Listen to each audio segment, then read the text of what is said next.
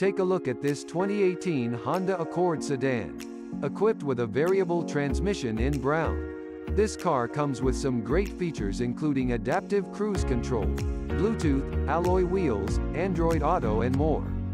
Come in and check it out today.